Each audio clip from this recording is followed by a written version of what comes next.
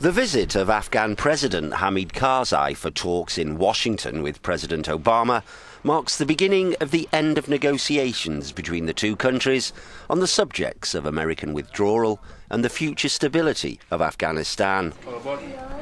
After 10 years of war, the onus is on everyone to get it right.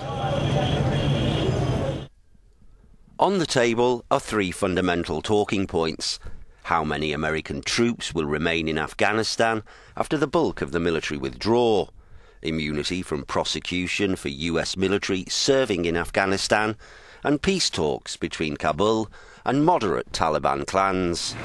So, how many troops will remain in theatre after the American mandate ends in 2014?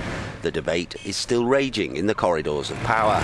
The top US commander in the region, Marine Corps General John Allen, has promised a force of between 6 and 15,000. Right. According to sources, the Defense Department has drawn up a plan which will leave between 3,000 and 9,000 troops on the ground. A bone of contention is immunity from prosecution for US military personnel serving in the country. This was a major disagreement between Washington and Baghdad when the US pulled out of Iraq in 2001. Those in the know believe Karzai will have some room for manoeuvre on this, but it depends on what demands Washington make. Last but not least, some form of Taliban involvement in the political process is key to prevent the country from slipping back into violence as soon as US troops pack up their troubles in their old kit bags.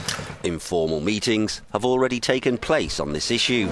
Last month in Chantilly, France, members of the High Council for Peace in Afghanistan, the Taliban, and others took part in a seminar on the future of Afghanistan.